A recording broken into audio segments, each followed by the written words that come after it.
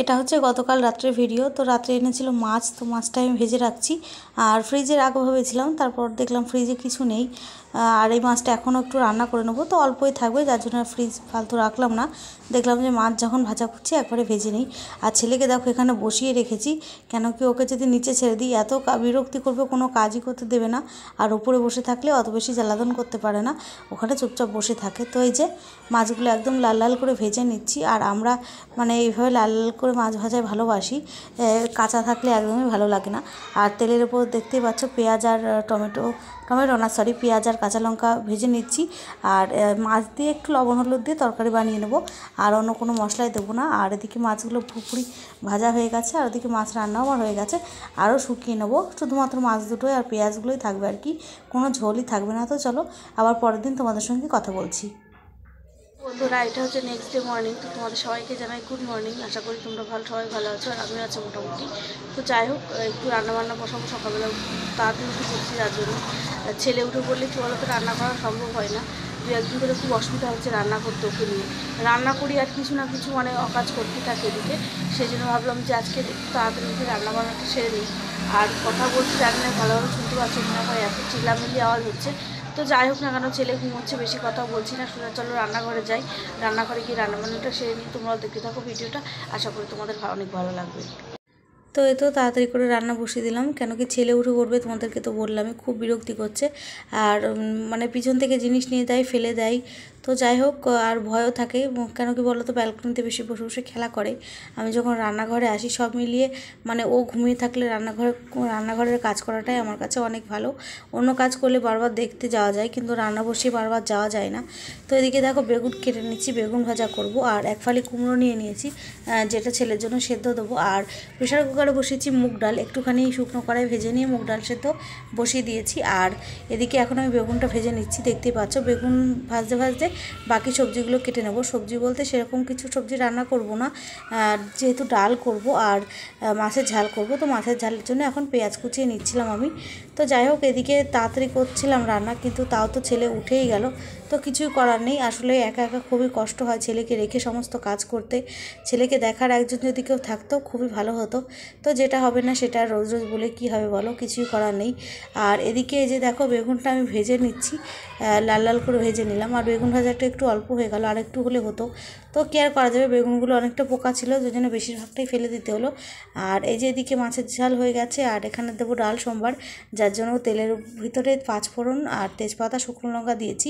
এবার একটু আদা বাটা দিয়ে দেবো, তারপর মুগ ডালটা দিয়ে দেবো। আর আজকে মাছের মাথা দিয়ে ডাল রান্না করছি। তো যাই হোক অনেক দিন ধরে খেতে ইচ্ছা করছিল, যার জন্য আজকে রান্না করা। আর এখানে দেখো রান্নাবান্না কমপ্লিট করে ওভেনটা আগে মুছে নিচ্ছি, ওদিকে বিছানা টিছানা কিছুই গোছানো হয়নি। রান্নাঘরে ঢুকলে আর অন্যদিকে যেতে ইচ্ছা করে না। মনে হয় যে, না, রান্নাঘরের কাজটা আগে কমপ্লিট করে তারপর বাকি কাজ করব। তো ওভেনটা আজকে সাবান দিয়ে পরিষ্কার করলাম না, এমনি এভাবে পরিষ্কার করে নিলাম আর কি। আর কি বলব, যেই ভয়তে তাড়াতাড়ি রান্না করছিলাম, সেই ভয়টাই সত্যি হলো। ছোটো বাচ্চাদের নিয়ে কাজ করাটা সত্যিই খুব কষ্টের। তো কী আর করা যাবে? মানে রান্না করতে করতে কতবার কত জায়গায় ঠোকাঠুকি খাই, আবার এসে আমার কাছে কান্না করে।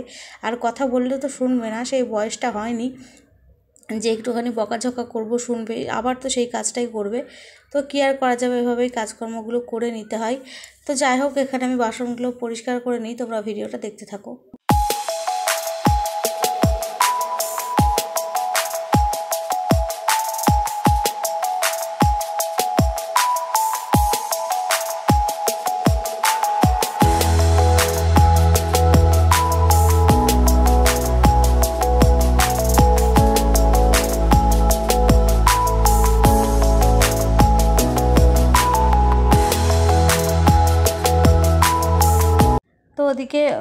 রান্নাবান্না সেরে বাসন টাসন ধুয়ে ঘরে চলে এসেছি। আর এই যে দেখতেই পাচ্ছ, বিছানাটা পরিষ্কার করে নিলাম। তারপর ছেলের জন্য নিয়ে আসলাম দুধ মুড়ি। আর ছেলে, না, আমিও একটু খাব, খুবই খিদে পেয়ে গেছে। দুধ অনেকটাই ছিল, তো অন্য কিছু বানাতে ইচ্ছা করল না, যার জন্য দুধ মুড়ি মুড়ি করে নিয়ে চলে আসলাম। আর ছেলে, এই খাবারটা ভালোই খাই। আর ওই যে বললাম, আমিও একটু খেয়ে নেব, খেয়ে নিয়ে একটু রেস্ট করব। আর আজকে প্রচুর জামা কাপড় কাচতে হবে, সেটার একটা টেনশান রয়েছে মাথার ভিতরে। তো খাওয়া দাওয়া কমপ্লিট করে এখন আবার ঘর মুছে নিচ্ছি। ঘরটা আগে মুছলাম না, কেন কি সব সমস্ত কাজ করে ঘর মুছতে ভালোবাসি। ছেলে আবার নোংরা করে ফেলে। আর ওই যে জামা প্যান্ট রাখার যে যে র্যাকটা আমার রয়েছে, তো যাই হোক, ওটা যে কতবার খোলে, কতবার হাতে নেয়, আর ফোন মানে ওইটা কানে দিয়ে কথা বলে, আর জিজ্ঞাসা করলেই দিদার সঙ্গে কথা বলছি। আর কিচ্ছু না, শুধুমাত্র দিদার সঙ্গে কথা বলছি।